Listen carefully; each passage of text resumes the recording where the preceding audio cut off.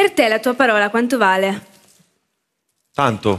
Allora perché ieri mi hai detto che mi portavi in esterna? Perché è finita oggi?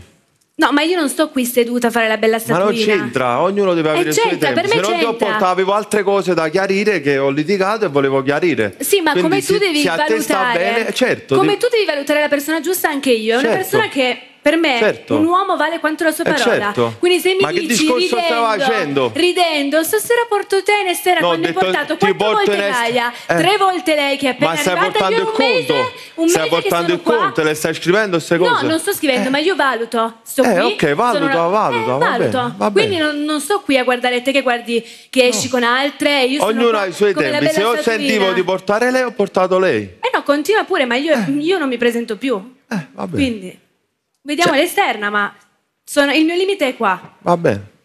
Tu fino a ieri non dicevi una parola, ma bella e buona ti sei svegliata No, non è che mi sei- svegliata, io non so, io non E dici, no, adesso la- io guardo e, me ne vado. Punto. Fino a ieri non che parlavi, voglio eri fianco. così ferma. non- Sì, ma non è che sei solo tu che valuti. Stanotte, la notte ti ha portato consigli? No, a me dà Ah. fastidio perché un uomo vale quanto la sua parola e l'ho Ma già che detto. discorso stai facendo? Allora, già che tu stai a mettendo in dubbio a dicendo- me e la mia persona, già mi stai facendo in... Ah, allora ieri non mi hai guardato ridendo e dicendomi Ma perché è finita? Stasera, Oh, stasera oh, è ti finita, è finita, è finita. Ie- ieri sera è finito. Lascia stare, è ieri sera era ieri, oggi è oggi.